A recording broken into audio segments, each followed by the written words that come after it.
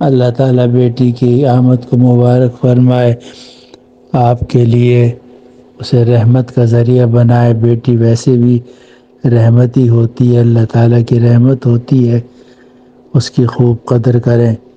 हदीस में आता है, जिसने तीन बच्चियों को पाला तो वो मेरे साथ जन्नत में जाएगा, और जिसने दो को पाला उसका भी ये हुक्म है एक साहब ने अर्ज़ किया, साहबी ने कि अगर एक बच्ची को पाले तो आपने फरमाया कि अल्लाह ताला की रहमत बहुत वसी है।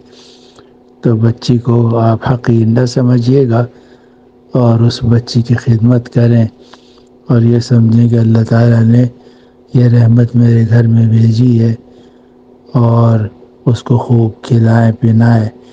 और हदीस में आता है फ़ाकरमहा वलम युहिनहा कि उसने बेटी की इज़्ज़त की और बेटी को जलील नहीं किया। तो जब आप ये उसको इज़्ज़त करोगे, इज़्ज़त दोगे तो इन आपको भी इज़्ज़त मिलेगी।